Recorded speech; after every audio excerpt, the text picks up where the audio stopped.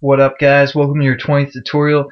Hopefully we're going to finish up that list view and you know check it in action here. But basically uh, what we need to do now is kind of reference everything in Java that we've done so far. And we're going to go through a few few different things that you haven't done before. But again, the more you use them, the more you use list views, the more you'll understand what's going on. Basically when we set up a list view, we're going to need to set up something called a list adapter. And within that list adapter, it's going to take an array adapter, which is going to take basically this array that we set up. So to set up our list adapter, we're going to say set list adapter, and this is method, and it's going to take within its parameters, like I said, an array adapter. But since we don't have one, we're going to say new array adapter. And what kind of adapter is it? Well, it's going to be a string adapter, or a, a string array because that's what we set up this as. And now we just kind of got to define what it is.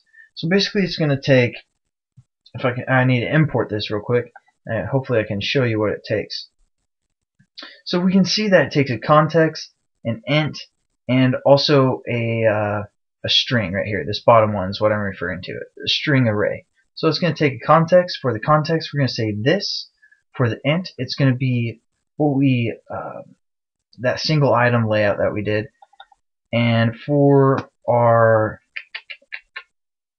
and for our uh, string array, we're going to use this food right here. So we're just going to say food. And that's going to set up our set our list adapter. So we're going to go down a couple lines and now we need to set up a list view. So we're going to say list view and we can label it as whatever. I'm just going to call it list and we probably have to import this as well. Yeah, let's import list view. And then we need to set up our list to something, and we can use a method called get list view And what's that going to do? Well, it's going to get a, our list view. And really, this isn't doing anything yet, just like every other variable we've done. So we want to do some methods here. So we're going to say list, and we want to set up a text filter and make it enabled. And to do that, we're going to say set Oh, my computer's freezing. Alright, good. Set text enabled, and it takes a true or false statement because it's boolean right here, and we want it to be true. So there you go. And we also want um, to set up our on-click listener, so when we click an item in our list, it kind of picks it up. You know, just kind of like we did with the menu. So it's we need to set up a set on item click listener. So we're also going to say list dot set. And my computer's probably gonna freeze again. Set on item. Click listener. And what does that take? It takes an on item click listener. And we don't have one defined yet. So we're gonna say new on item click or item click listener because we're setting up a new one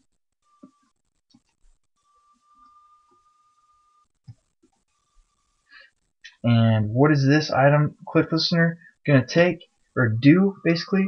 And we're just going to give it a bracket right here and we're going to finish off our statement and kind of define what that does. I don't know if we have to import on item click listener and hopefully we get rid of some errors. And we're going to also add unimplemented method which is basically going to be our on item click because that's the only method you know an on item click listener does is whatever's on its item and basically here we see that takes four things um, into this like method. It takes an adapter view and you know it doesn't really define what kind of adapter view it takes even though ours is a string. So we're just going to leave that question mark. And that adapter view is called argument 0 and view it takes a view and that's going to be argument 1 it takes integer argument 2 along also as well argument 3 so we can kind of use those within whatever our on item click does. And this is just kind of basic Java terms. I don't know if I explained that before. But we're going to use that to create a toast. And you should be familiar with toast. I'm just going to kind of put something real quick just so I can um, import my import my toast here. And then basically I'm just going to set it up all at once. So we're going to say toast dot make text and Again, it takes context, text, and duration for context, we're going to use get application content. So that's going to get the application content. And then for our text, we want to use this view because remember a text view is a view. And that's what we want to say when we click on this item, we get that view. And we're going to turn it to some text.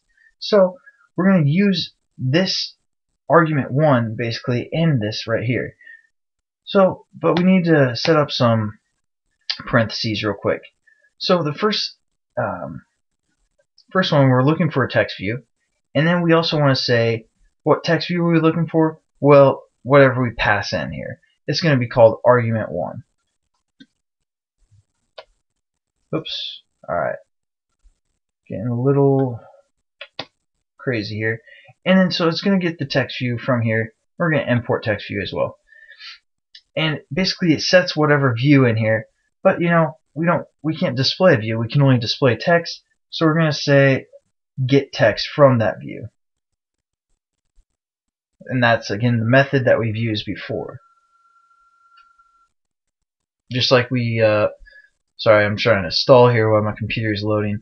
But basically, just like we did with our edit text, and we use get text from our edit text in like a tutorial. Well, I'm not even for sure what tutorial that was, but like 12 or something. But um, basically, we're just getting the text from this view. And what kind of view is that? It's a text view.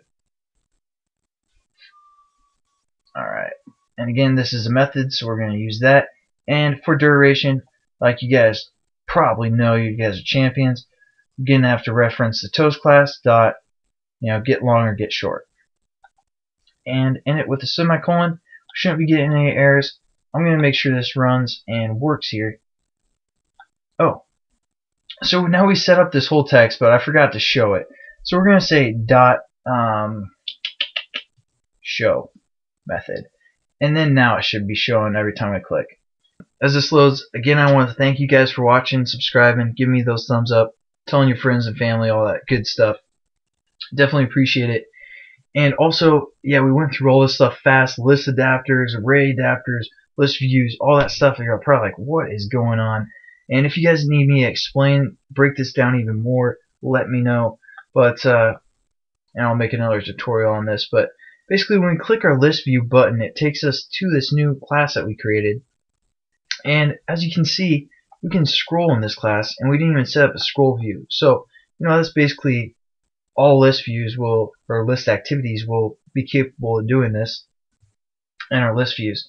And then also, when we click on like bacon, it's going to create that toast, bacon, or cheese, cheese, or sandwich, sandwich. So basically, that's a simple list view. Again, thanks for watching, guys. Um, hope you guys have a great day and see you later.